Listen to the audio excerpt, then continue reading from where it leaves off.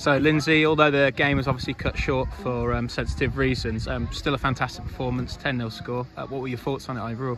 Um, I think first game of the season. I think we knew it was going to be a tough game. Obviously, Falcons coming down from Div One last season. Um, as much as they got relegated, they're still obviously worthy in Div One at one point.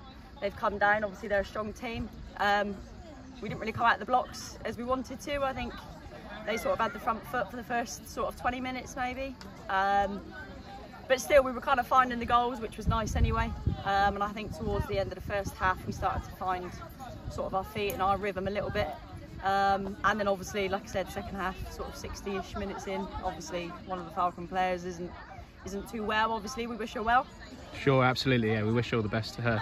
Uh, Jess, this is obviously your first full like league game Yeah. uh, for Portugal this season, so Yeah. um, it's great you obviously got some minutes. Uh, what are your thoughts like going into the rest of the season and what you want the team um, and all the girls? What are the kind of ambitions amongst the squad? Um, I think obviously our aim is to get promoted. Um, when I joined Portugal, I, I think the setup's very good. Got a great squad of players, um, great coach, great manager. I think I think we'll do well. Um, I'm happy to be here.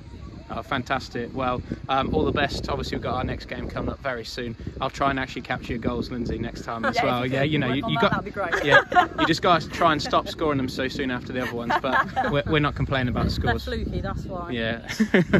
um, but anyway, thanks so much and all the Cheers, best, guys. Thank Cheers, you. thank you.